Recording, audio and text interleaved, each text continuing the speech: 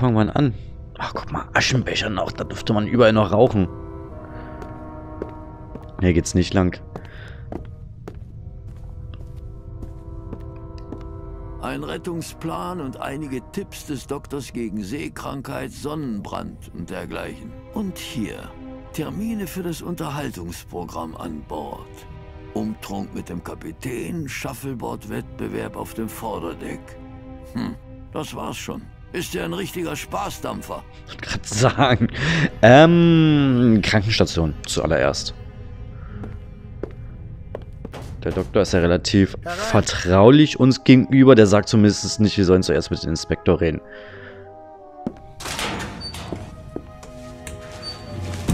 Halli, Hallöchen. Servus, Dr. Gebhardt. Und da ist schon der nächste. Bitte? Sie wollen doch auch schon wieder was von mir, oder? Ich befürchte ja. Was für ein erster Arbeitstag. Also, Was hat die Untersuchung des Opfers ergeben? es ist tot. Ich habe Sie nicht die Nacht durcharbeiten lassen, Dr. Gebhardt. Sie wurde erschossen. Aus kurzer Distanz, vermutlich mit einer Pistole. Es scheint, als habe sie auf dem Bett gelegen. Der Schuss traf sie ins Herz. Sie war sofort tot. Ein Schuss? Mehr war nicht nötig. Und immerhin fiel auch nur ein Schuss, nicht wahr? Und es gibt auch nur eine Eintrittswunde? Nur eine. Mhm. Aber wirklich perfekt ins Herz getroffen. Ich habe gehört, ich wurde mit Schlafmittel betäubt. So scheint es. Was können Sie mir dazu sagen? Ich? Was habe ich damit zu tun? Haben Sie das Glas nicht untersucht? Nein, habe ich nicht. Der Inspektor meinte, er sei der bessere Chemiker von uns beiden. Ich habe ihn gelassen. So konnte ich mich wenigstens auf die Leiche konzentrieren. Hat er überhaupt schon geschlafen? Glauben Sie, die Baronin könnte auch betäubt worden sein? Sie war sehr müde und wackelig auf den Beinen, als Legrand und ich sie getroffen haben. Ich habe davon gehört. Ich muss sie im Salon knapp verpasst haben. Und ohne sie selber gesehen zu haben, ist eine Diagnose schwierig. Natürlich. Können Sie zu Ihrem sonstigen Gesundheitszustand etwas sagen? Sie hatte erhebliches Übergewicht und der Butler sagte, sie litt an Diabetes. Trotzdem sei sie seit Jahren bei keinem Arzt mehr gewesen. Klingt nicht gut. Kommt häufiger vor, als man denkt. Einige Leute haben Angst vor Ärzten und bezahlen das mit einem frühen Tod. Gut möglich, dass die Baronin so oder so nicht mehr viele Jahre vor sich hatte. Hm. Wissen Sie, aus welchem Glas ich getrunken habe? Wie meinen Sie das? Kapitän Di Conti reichte mir ein Glas mit Champagner. Aber woher hatte er es? Ich. Ich weiß nicht. Haben Sie ihn schon gefragt? Ich frage nur, weil Sie ja auch im Salon waren, als der Champagner herumging. Ja, aber ich habe den Salon erst einige Augenblicke vor Ihnen betreten. Ich bin nicht dazu gekommen, selber ein Glas zu trinken. Was man rückblickend als Glück bezeichnen muss. Da haben Sie natürlich recht. Oder es wurden alle betäubt. Das kann natürlich auch sein, ähm, dass er beim Antrunk, weil, wie der Kap Kapitän gesagt hat, um 10 Uhr findet ein Antrunk statt, alle betäubt werden sollten. Konnten Sie das Projektil schon entnehmen? Hat Legrand Sie geschickt? Was ist mit diesem Franzosen? Ich habe doch gesagt, dass ich mich melde, sobald ich es habe. Das habe ich auch schon dem Wachmann gesagt, den er die ganze Nacht lang rübergeschickt hat. Nachdem ich Legrand selber endlich losgeworden war. Er hat Ihnen über die Schulter geschaut? Er hätte mir wohl am liebsten das Skalpell aus den Fingern gerissen. Aber das hier ist meine Praxis. Und ich lasse mir von Amateuren nicht ins Handwerk pfuschen.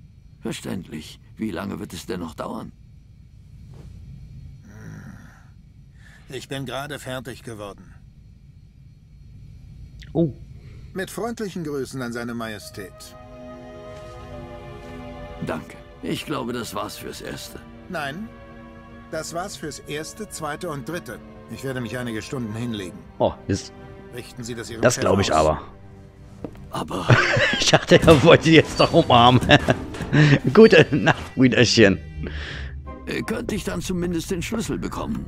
Mit Sicherheit nicht. Aber wenn wir das Opfer noch mal untersuchen müssen? Dann weiß der verehrte Inspektor, wo er mich finden kann. In meiner Kabine, im Bett. Gute Nacht, Wachtmeister Zellner. Ja, okay. Aber mittlerweile äh, finde ich ihn nicht mehr ganz so verdächtig. Okay, die Handschuhe sind immer noch ein bisschen merkwürdig, aber sei es drum. An so einem Alarmmelder wurde gestern Alarm ausgelöst. Hm, dieser hier wurde nicht gezogen. Die Verplombung ist intakt. Oh, okay. Alarm finden. Ich zahle nichts für diese Reise. Und das ist auch der angemessene Preis für meine Kabine. Sie ist als eher hm, schlicht zu bezeichnen. Ach, ist die Kabine dort, ja? Nein, ich habe genug geschlafen. Können wir da durch? Nö. Das ist Legrands Kabine. Herein!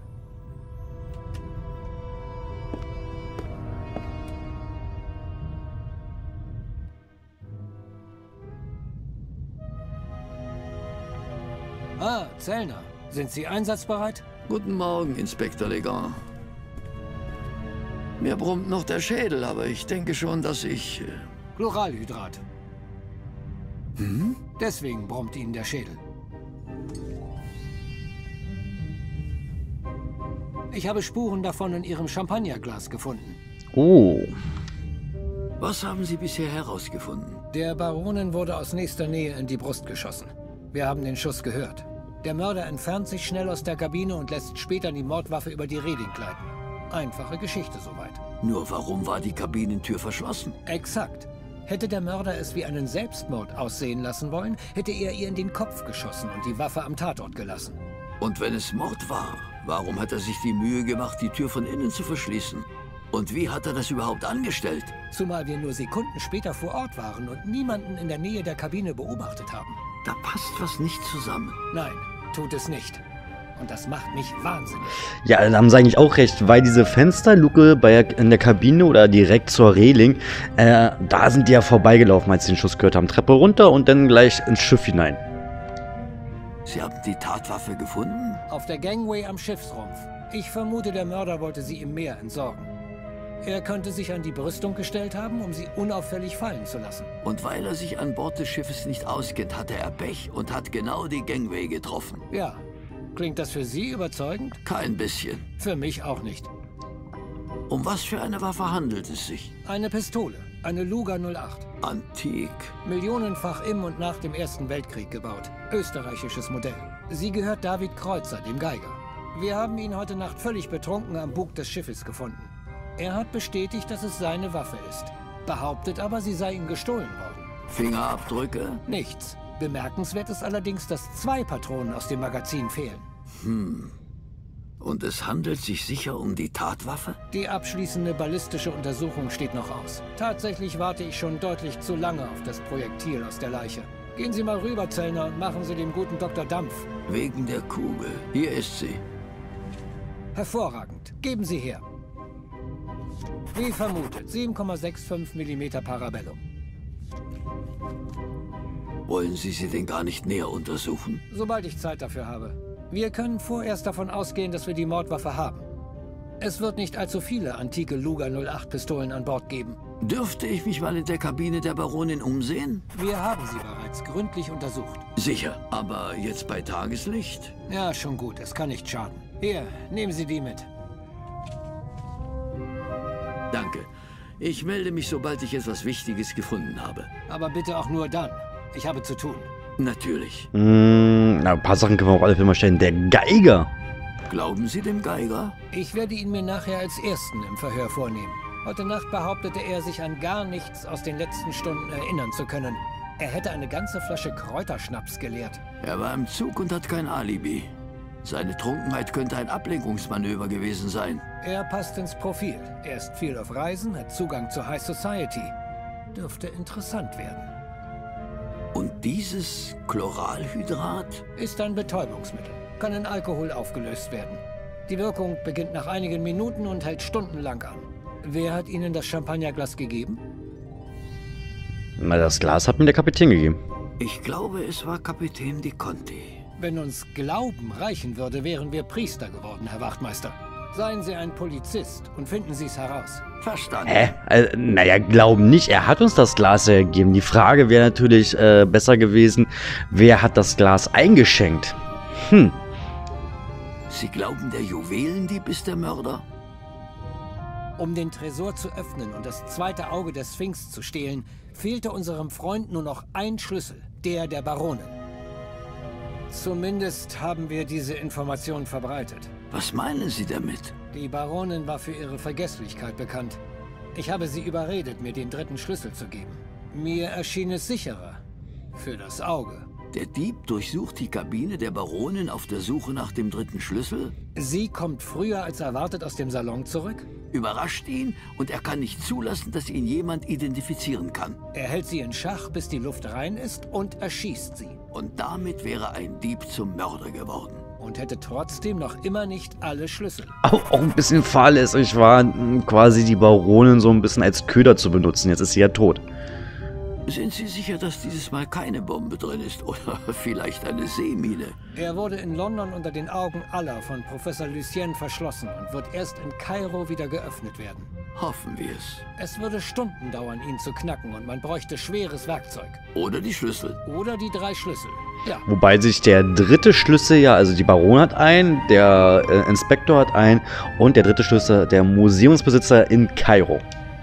Glauben Sie. Glauben Sie wirklich, der Rabe von damals steckt hinter all dem? er hat den Brief verfasst, der auf dem Tresor im Zug lag. Ohne den Brief hätten wir den Tresor nicht geöffnet und die Bombe nicht aktiviert. Aber es passt nicht zu ihm, oder? Der Rabe war bekannt dafür, bei seinen Einbrüchen keine Menschen zu verletzen, geschweige denn zu töten. Es ist seine Handschrift und er spricht mich mit Nico an. Niemand sonst tut das. Ich habe diesen Mann jahrelang durch halb Europa gejagt. Er ist es. Er muss es sein. Aber die Indizien? Schluss damit. Dann werde ich mal gehen und ermitteln, wer mir das Glas mit dem Schlafmittel gab. Tun Sie das.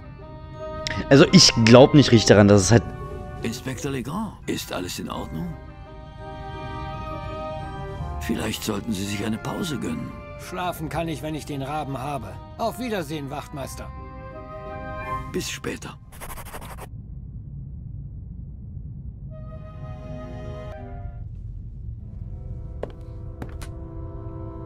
Legrand riskiert bei der Rabenjagd nicht nur seine Karriere, sondern auch seine Gesundheit. Er ist wie besessen. Vielleicht schnappte er deswegen damals den Raben und niemand sonst. Gut, wenn wir mal Erfahrung bringen, wer uns das Glas gegeben hat, auch wenn ich glaube, halt wie gesagt, es war der Kapitän gewesen. Ähm, wir gehen natürlich in die Kabine von der Baronin und werden uns einfach nochmal ein Schiff umschauen, weil das Gespräch an sich, ich habe es ja schon mal so in den ersten Folgen mal erwähnt, was mir aufgefallen ist, solche wichtigen Gespräche können die komplette Handlung ähm, ja, am und im Ort total verändern. Vorher gucken wir uns einfach mal hier die Einträge an. Wo sind wir denn jetzt hier? Dr. Gebhardt, dunkle Gestalt, die drei Schlüssel, Kapitän Di Conti, der blinde Passagier. Nur Spuren und Hinweise. Und Spuren und Hinweise haben wir immer natürlich die Tatwaffe, die Patrone, wo man auch sagen muss, ähm, es haben ja zwei Patronen gefehlt, die eine natürlich jetzt auf die Baronen abgefeuert wurde und ich glaube mal, die andere wird wahrscheinlich die im Frachtraum sein, die auf uns gefeuert wurde oder generell abgefeuert wurde.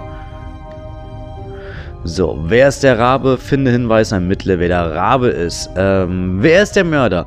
Ich sollte nach Indizien suchen, die uns weiterhelfen können. Vielleicht hat der Schuss, den ich im Lager gehört habe, das ist jetzt das, was ich gesagt habe. Legrand hat mir erlaubt, Kabine der Baron zu untersuchen. Hinweis, ich sollte die Kabine gründlich nach Spuren untersuchen. Also das sind genau die zwei Dinge, die ich untersuchen möchte. Von, da, von daher, ja, behalten wir das so. Gucken wir uns erstmal die Kabine hier an.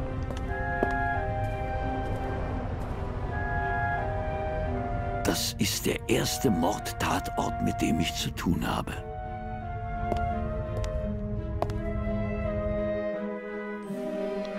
Bin ich mal gespannt, was wir in Erfahrung bringen können. Hinter der Luke dürfte es einen Lüftungsschacht geben. Normalerweise ein guter Weg, um irgendwo unauffällig ein- oder auszubrechen. Aber wir befinden uns auf einem Schiff.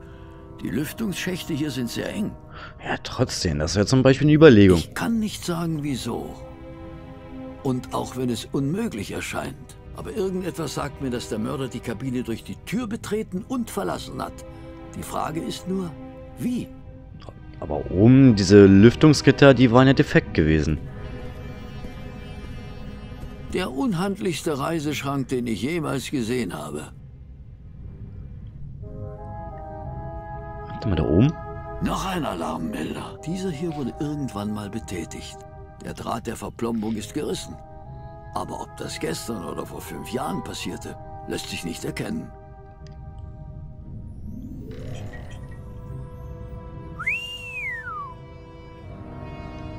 Eine portable Bar würde ich das nennen. Muss unglaublich anstrengend sein, das große schwere Ding heil durch die halbe Welt zu transportieren. Und die Baronin hatte Glück, dass die hinteren Transportwaggons bei der Explosion nur leicht beschädigt wurden.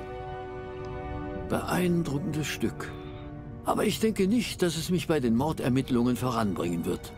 Aber ich glaube, der Alarm, der ausgelöst wurde, es war wahrscheinlich der gewesen, den man gehört hat.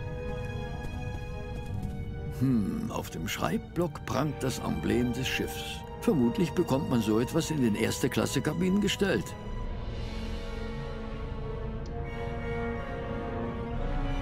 Hm. Seien Sie am... Achso, um 22 Uhr im Salon an Bord dieses Schiffs ist ein Mörder und ich werde ihn entlarven. B. Da steht, Inspektor, seien Sie um 22 Uhr im Salon. An Bord dieses Schiffes ist ein Mörder und ich werde ihn entlarven. B. Die Baronin scheint ihren Mörder gekannt zu haben. Und damit ist klar, dass der Rabe nicht der Mörder sein kann. Er hat nie jemanden umgebracht. Legrand hat die Nachricht vermutlich nie erhalten. Sonst hätte er etwas davon gesagt. Hm, eingepackt. Die Kleiderpuppe gehört sicherlich zum Inventar der Kabine. Eine Kleiderpuppe für die Sachen der Baronin müsste großzügiger dimensioniert sein. Jakob! Herr Zellner, ich wollte so nicht sagen. Sonnenblumen. Vermutlich von Van Gogh. Der hat ja haufenweise sowas gemalt. Allerdings dürfte es sich trotzdem nicht um ein Original handeln. Die kosten Tausende von Franken. Oh, ja doch, die Vase zuerst bitte. Eine große, hässliche und obendrein auch noch unpraktische Vase. Hätte sie eine größere Öffnung, könnte man sie immerhin noch als Schirmständer benutzen. Hm. Man kann nichts erkennen. Boah, schwerer als sie aussieht. Aha. Warum wurden die Daunen in die Vase geworfen? Oder ist da noch mehr drin? Gut möglich, dass sich im Bauch der Vase etwas befindet. Aber der Hals ist zu eng, als dass ich mit der Hand hineingreifen könnte. Gut möglich. Mitty.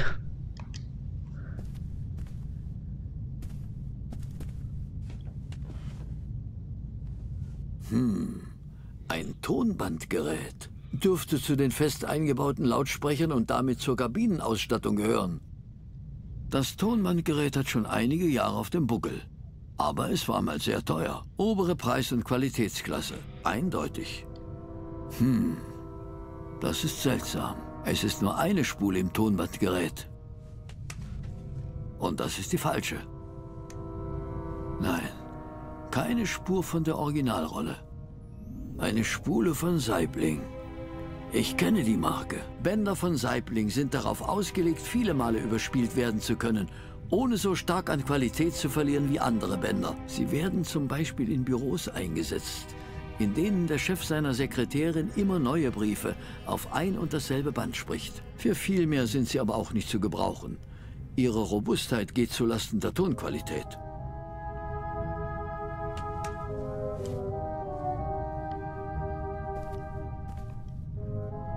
Auf der Matratze ist noch ein Blutfleck zu sehen.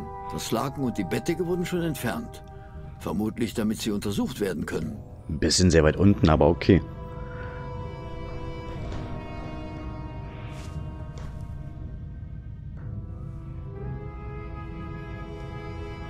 Hm, nichts. Der Blutfleck ist und bleibt der einzige Hinweis, dass hier ein Verbrechen verübt wurde. Hm, irgendwie... Das ist seltsam. Das Blut ist so rot.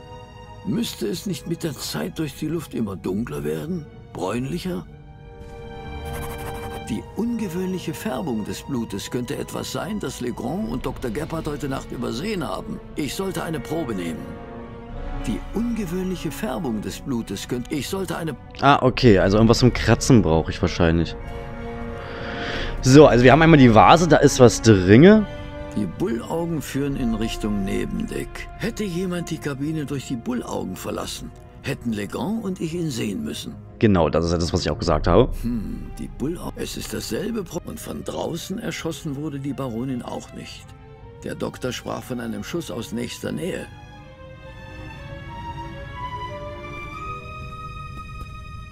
Die Baronin scheint keine Zeit gehabt zu haben, ihre Koffer auszupacken. Oder besser gesagt, ihren Butler anzuweisen, die Koffer auszupacken. Hm, das alles zu durchsuchen dürfte Stunden dauern. Aber hier, die Handtasche der Baronin. Aha.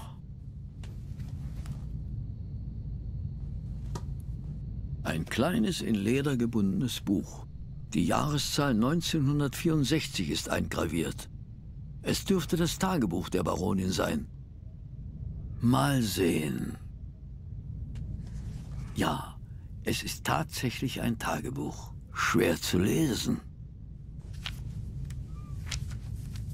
Kein Eintrag von gestern. Sie beschreibt kurz und nüchtern, was sie in letzter Zeit gemacht hat. Maurice getroffen, Benefizkonzert für Renovierung Louvre Südost vereinbart. Times Fototermin Auge der Sphinx. BM. Unfähiger Fotograf, zu umständlich. So geht es weiter. Hm, dieser Eintrag sieht seltsam aus. Die Schrift ist zittrig, schwer zu lesen, von Bubi geträumt. Gestern wäre sein Geburtstag gewesen. Nächste Woche der von J. Hm. Bubi könnte vielleicht ihr Sohn sein und J vielleicht ihr Mann? Die Baronin war eine vielbeschäftigte Frau, die einen Verlust verkraften musste. Sie schreibt von Bubi und J, die beide nicht mehr zu leben scheinen. Im Krieg hatte fast jede Familie Tote zu beklagen. Vielleicht auch ihre. Ich lasse es da liegen. Ich habe nicht die Zeit, es vollständig durchzuarbeiten. Na gut. Kosmetik, ein Taschentuch, ein Brillenetui. Nichts Außergewöhnliches. So, da unten liegt nämlich was. Irgendetwas ist da. Hm, Daunenfedern. Vielleicht aus einer Decke oder aus einem Kopfkissen. Nichts Besonderes. Obwohl, es sieht aus, als sei eine Feder an der Spitze angesenkt. Verbrannt geradezu. Hm.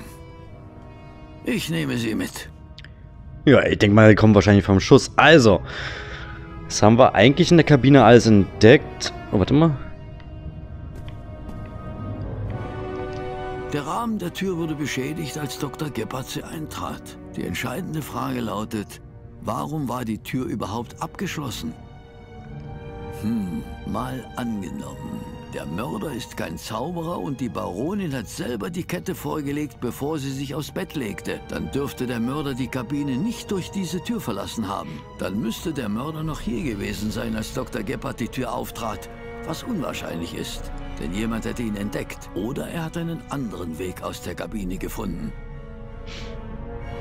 Also, ich bin der Meinung, er hat die Kabine auf alle Fälle über die Lüftungsschächte verlassen, wo die Abdeckung oben ja auch kaputt ist. Wir brauchen jetzt, äh, mehr gibt es hier glaube ich auch gar nicht mehr zu sehen und zu finden und zu, sich zu merken. Oh, da unten, ja, die, die Feder natürlich auch. Ähm, wir brauchen etwas, um in die Vase reingreifen zu können. Noch mehr Daunenfedern. Und auch diese sind angesenkt. Und äh, etwas, um diesen Blutfleck zu mal mit.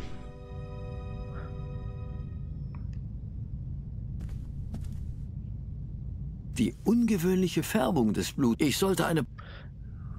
Achso, was haben wir jetzt hier eigentlich alles? Wir haben Turmbandspur, Daunenfeder, die Nachricht der Baronin, das war's, ja.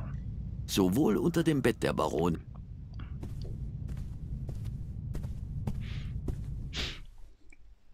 Müssen wir mal gucken.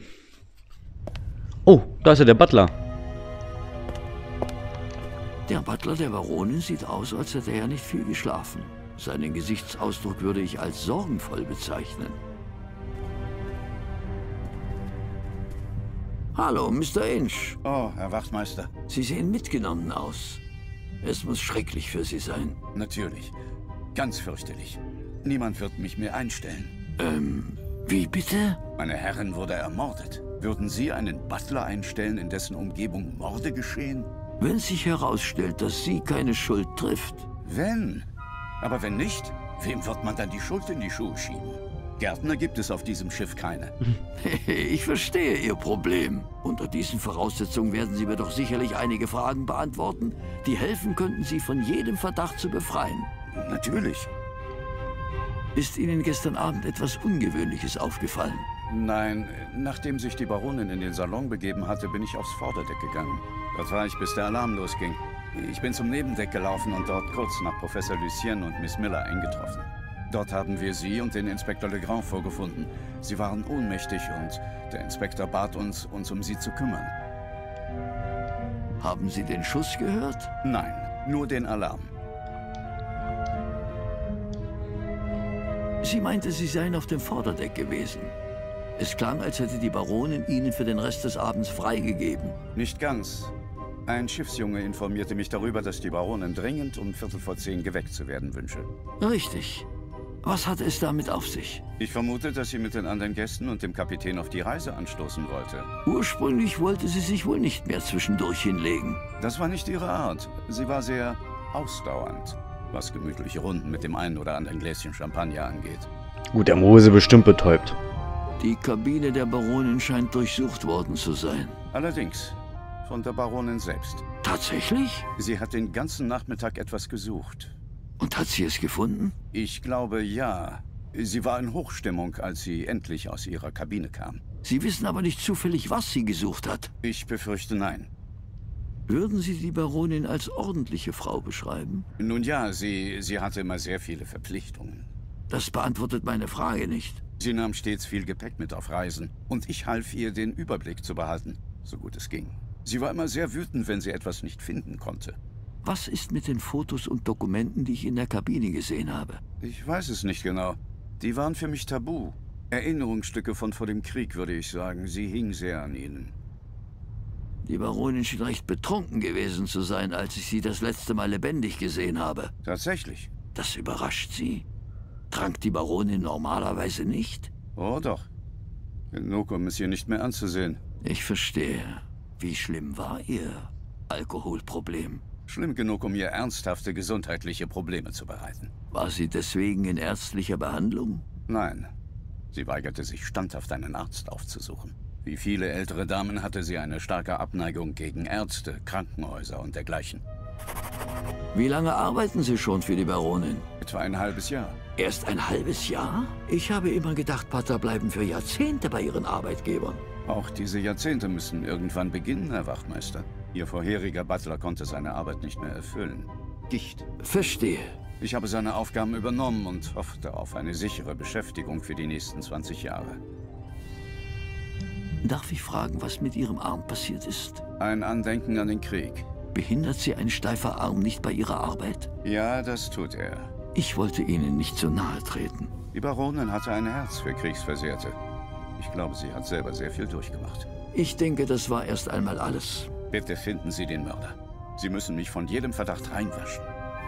Also richtig viele Informationen haben wir natürlich jetzt nicht bekommen. Der Tod seiner Herrin scheint Butler Inch nicht sonderlich nahe zu gehen. Er macht sich vor allem Sorgen über seine eigene Zukunft. Außer vielleicht, dass es wahrscheinlich wirklich zutreffen kann, dass sie äh, irgendwelche Geliebten im Krieg verloren hat. Bubi und Jay, wie im Tagebuch beschrieben. Denn der Butler wurde auch eingestellt, obwohl er eine Kriegsverletzung hatte. Und ja, ansonsten konnte er uns eigentlich nicht weiterhelfen. Wie gesagt, wir brauchen auf alle Fälle noch irgendwie einen Gegenstand, mit dem wir halt irgendwie an diese Vase herankommen.